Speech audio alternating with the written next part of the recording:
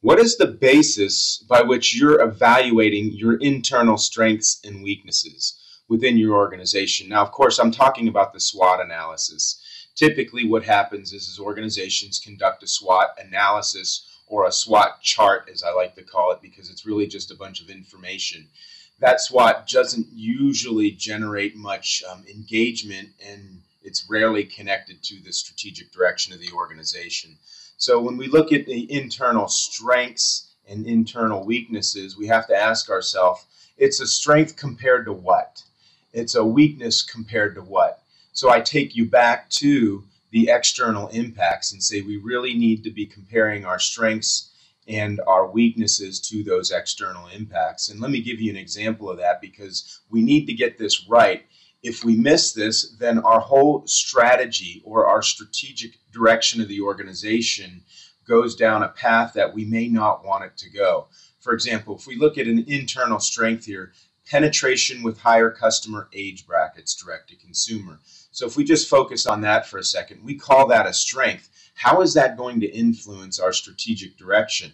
So if we come down from our internal evaluation, that's going to have to connect to our customer and market focus, our product focus, our operations focus, and finally, our people focus. It's going to connect to all of those, not every one of these, but just singularly singular items within this. So the penetration with higher customer with the higher customer age bracket, where is that going to go? That's going to go into our customer and market focus. So if we were to click on our customer and market focus, grow sales in athletic and 50 plus customer segments. So, what we're saying here is that we have a strength and we're going to ride our customer and market strategic focus on that strength.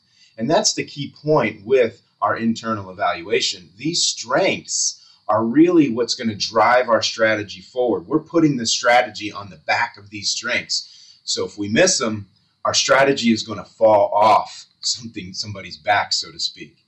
The weaknesses side, these are going to be addressed in the strategic direction. So we need to identify weaknesses, but then address those in either our customer and market, our product, operations, and again, our people. So what we identify in our internal evaluation as weaknesses really translate right into our strategic focus, outcomes, and actions. And that's the essence of building a really strong internal evaluation but that also has to connect to where or what is going to impact the organization in the future. So, internal evaluation is based on where or what we're going to be impacted by, and then it has to feed the strategic direction. So, it's kind of a, a link within your strategy development between your strategic analysis, strategic focus, and outcomes.